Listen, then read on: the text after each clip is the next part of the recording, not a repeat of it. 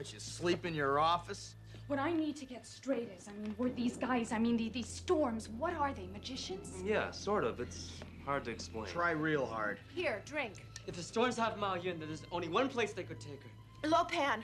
Yes. The godfather of Little China, Mr. David Lo Pan. You mean the David Lo Pan that's chairman of the National Orient Bank and owns the Wing Kong Import Export Trading Company, but who's so reclusive that no one's even laid eyes on this guy in years?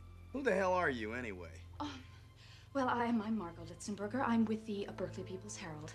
I've been trying to get somebody, anybody from the press to listen to me about this, Burton. And it's just not possible that you actually saw David Lo Pan.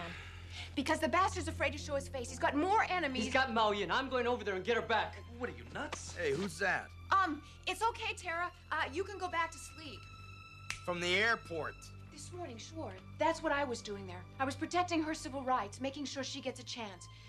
This is just so shocking. I mean, I must just be so monumentally naive. You are.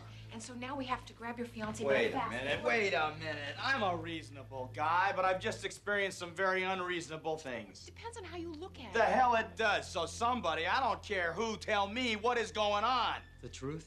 I can take it. We don't know. I'm going now, alone if I have to. What? Where? It's pouring out. Lo Pan's, the Wing Kong Exchange. The Wing Kong Exchange? The most dangerous cutthroat den of madmen in Chinatown. You can't just waltz in and out of there like. Like the wind. Yes, I can, Miss Law. My mind and my spirits are as one. As two, I said I was coming.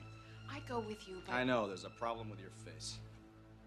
Okay, you people sit tight, hold the fort, and keep the home fires burning. And if we're not back by dawn, call the president.